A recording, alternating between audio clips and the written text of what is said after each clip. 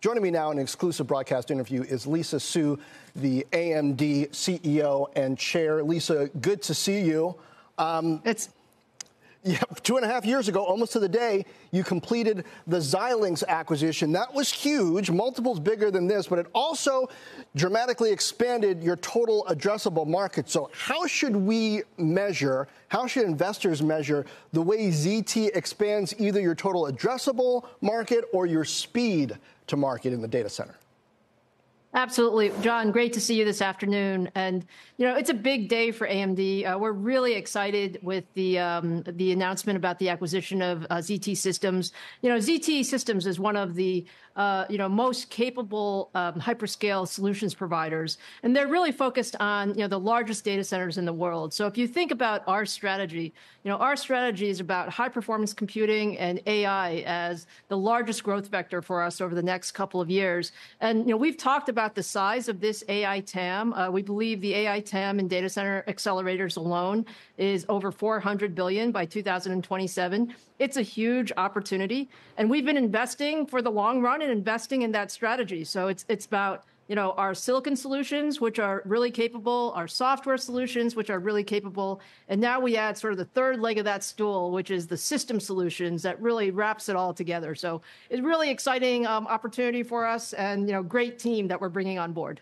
Lisa, color that in a little bit for me because a lot of people, I think, think about, well, AI as, okay, just sell a bunch of chips, sell as many as you can. But it seems to me more like, you know, you can't just sell couches uh, sectional couches, you got to have the right color. You, the customer has to know that it fits within their space. How do things like cooling or, or even designing for specific applications fit into the capabilities that ZT is going to give you and perhaps you imagine allow you to sell more of AMD's AI solutions into the marketplace?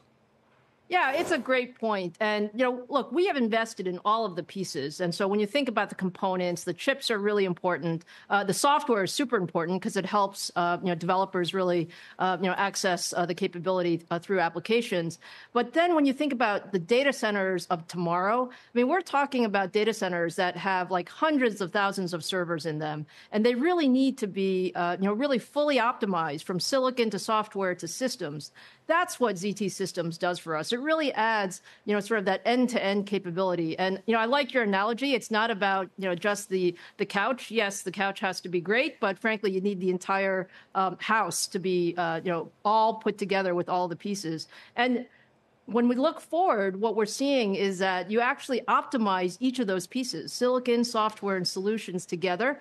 Um, one of the things that's really important, John, is look, we love the open ecosystem. We're all about enabling, you know, not just our own solutions, but really enabling our entire ecosystem of OEM and um, manufacturing partners. And so we're still going to do all that. We're just going to come with uh, really a very, very strong foundation to build the largest data centers in the world. Now, when I first saw the, the announcement of this deal, I thought, is Lisa, is AMD going to be competing with Supermicro here? But no, you're spinning off the manufacturing business. Tell me about your decision making process there and what the value is of a manufacturing business that has locations not just in Asia, but in the U.S and Europe uh, in, in a very high revenue, high margin category.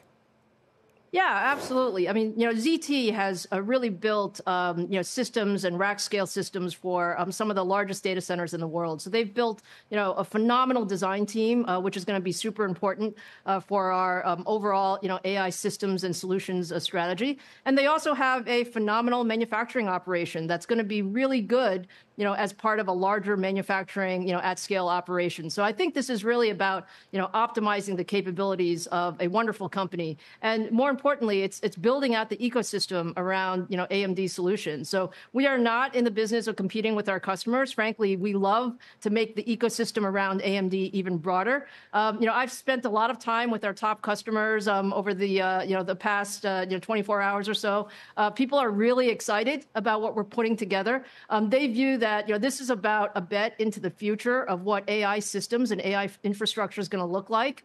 Uh, we're all about you know building upon the incredible ecosystem that we have, but bringing the best technology to market as fast as possible. So let's deploy you know these leading edge um, you know clusters and data center level uh, systems with um, all of the great technology, but also ensuring that everyone gets to innovate on top of that.